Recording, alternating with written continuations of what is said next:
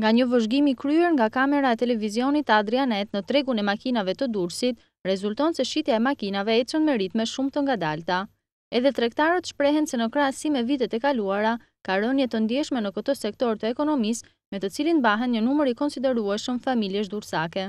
Sipas tregtarëve, faktorët që ndikojnë në rënien e blerjeve janë ekonomia e dobët e një pjese të madhe të konsumatorëve durrsakë, të cilët edhe pse dëshirojnë të kenë një automjet, e kanë të pamundur t'i përballojnë shpenzimet për blerjen e tij.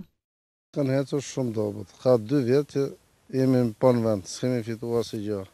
Vetëm mjak I japim japim taksa lek shtetit. Ka ra leku, s'ka lek as me i ven mo, kur s'ka Greqia dhe Italia çë do kemi ne çë do presim ne këtu. Shitjet e maqinave janë në një pikë të hallit, sepse aktualisht e vërteta është që këtu nuk ka punë, njerëzit nuk kanë lekë, duan çmime të lira.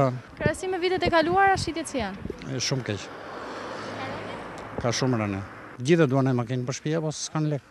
Edhe pse tregu i makinave ofron një mori markash duke filluar nga ato të luksit e deri tek ato ekonomike, një pjesë e tregtarëve rrezikojnë të falimentojnë për shkak të kërkesës së vogël,